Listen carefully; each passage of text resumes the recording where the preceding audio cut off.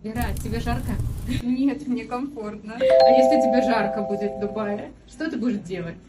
Я спущусь вот в тот бассейн,